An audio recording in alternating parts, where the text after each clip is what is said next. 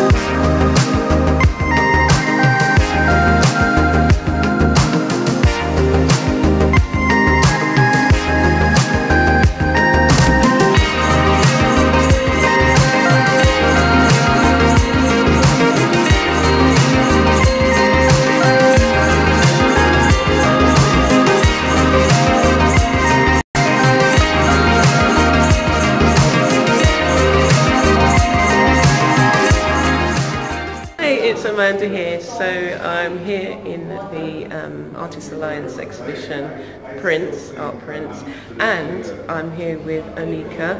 Come on, Oneka. This, look at this piece of work. This is brilliant. This is absolutely magnificent. And here is the artist herself. So thank you for joining me.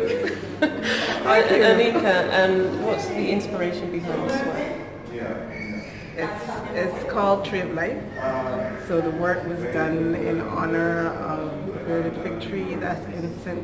Philip Parish Churchyard.